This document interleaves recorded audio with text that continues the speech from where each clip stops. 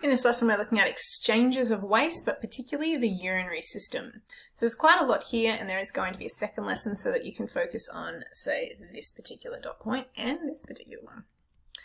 Alright, so we've already discussed uh, digestion, where the body intakes food and absorbs nutrients to create energy, right? That makes sense, we've done that part. And during the course of digestion, our body can absorb toxic substances in our food that we eat, so our body has to remove them as well.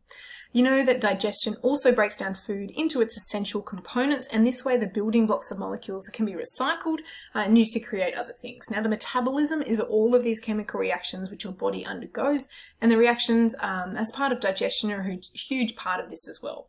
Obviously, as part of these chemical reactions, useful products are created and wastes as well. Uh, and if these wastes uh, start to accumulate in the body, they can be become detrimental, right? They need to be removed so that the cells can function as normal. So our body must find a way to do that and it has a filtration process and excretion process to do this. So some examples of our waste products include carbon dioxide from cellular respiration um, and nitrogenous waste from the breakdown of proteins, and that's our focus for today. But we also know that cellular respiration creates, uh, sorry, breaks down carbs and lipids, and ultimately, ultimately it's going to create energy in the form of ATP, but we know that waste product is CO2, for example, and we take that to the lungs and we breathe it out, right? Nice and easy. But the water in this situation can be used in other, in other ways as well. It's not considered a waste product. But when proteins are digested and broken down, they create nitrogenous waste. So that means it's nitrogen containing. Now, remember that the proteins are made of a string of amino acids um, in which the nitrogen is the structural, you know, part of the structural component of all of them here. So when the proteins are broken down, the nitrogenous parts are split off and it leaves the remaining parts of the molecule to be converted into carbohydrates or lipids or whatever else. This means the nitrogen's got to be removed in some other way. Now initially the nitrogen waste is in the form of ammonia, which is soluble in water and for aquatic animals uh, that's really great because they can just remove that via their gills. But for us it's incredibly toxic so we can't store it for very long. We need to use our um, energy to convert it into urea or ure oh, sorry, uric acid, which is less toxic and therefore we can store it for a little bit longer. Now mammals excrete this waste as urea uh, birds and reptiles um, excrete it either as ammonia, sorry, uh, uric acid here, and that's actually the white component of bird poo. It contains crystals of uric acid. So now we aren't just talking about the internal cellular environment when we do this, we have to think about the extracellular environment. So around the outside of cells is the extracellular fluid, it's also called interstitial fluid, and it's sitting between all the cells in the tissues, right? It's basically a solution of water and salts, and its composition needs to be really highly regulated. Um, you know, if, if it's pH or it's water, its salt balance changes, it's not suitable for enzymes and other molecules to function properly. Uh, we know know, you know, based on our potato practicals, that if the salt concentration changes, then the cells are going to change as well.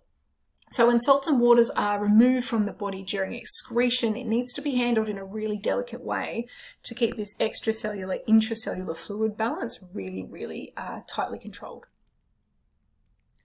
Now, part of the liver's role is to detoxify the blood, so any chemicals or drugs or alcohols that are ingested are absorbed during digestion. Um, they'll circulate in the bloodstream, and as proteins are digested and broken down, the nitrogenous waste like urea will also be circulating, but to remove these wastes, we actually have kidneys to do that.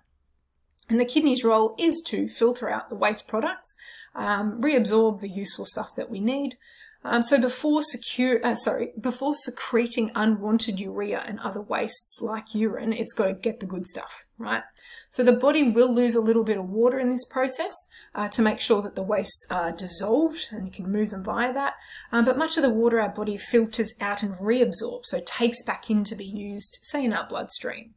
Now, desert animals are highly adapted uh, to make urine, which is extremely concentrated in terms of salt and water. Um, but, you know, the less urine they excrete, the better because they're not losing as much water. And we often see that here. We're not really talking about how much um, salt is in our urine. It's actually how much water we are excreting with it. So if you're super hydrate, uh, super dehydrated, when you go and urinate, you're not going to have much water being removed because your body's trying to conserve it. Now blood enters the kidneys through the renal artery, it leaves via the renal vein, which makes sense, and within the organ there are substantially smaller uh, filtration systems, and these are called the nephron, and that's a really important point here. The nephron is really highly um, vascularized, it's got a lot of capillaries running near it, and the nephron will absorb or save or reabsorb any worthwhile substances like uh, sugars and, and water. And the filtrate that is produced contains as little water as we can spare and the waste salts and all the other chemicals we're trying to remove. So this is a, nephron. It's incredibly complex. It's sometimes depicted in a very uh, simplistic way, but we're going to study more about that uh, because it is quite important, or it's vital to the filtration that is occurring in the kidneys. So it's really important that you go and have a look at that next lesson. Okay.